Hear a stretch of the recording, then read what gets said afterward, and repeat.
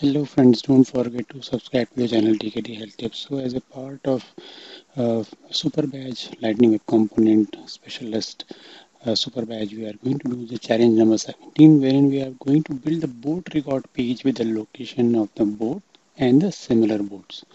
So we will uh, we will move over, we will head over to our lightning app page. So from pages you first have to go to the boat record page. Okay friends, uh, you have to go to your lightning app builder, then go to the pages and go to the boat record boat record page. And this is a little tricky here. So what you need to do is you need to, you have the similar boats. Okay. Uh, so basically you need to you need to drag these similar boats thrice okay as I have done here like uh, from on the right hand side similar boats by type similar boats by price and similar boats by length.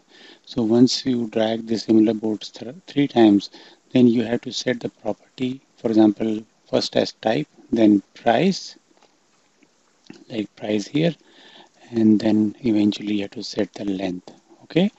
So and don't I, I made a mistake that you need to put the boat map component as well you save this activate for for this page uh, activate this as a default org for this default org.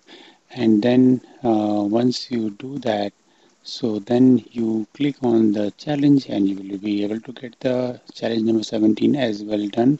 So don't forget to subscribe to the channel TKD Health Tips and keep join uh, join my mailing list to get the code.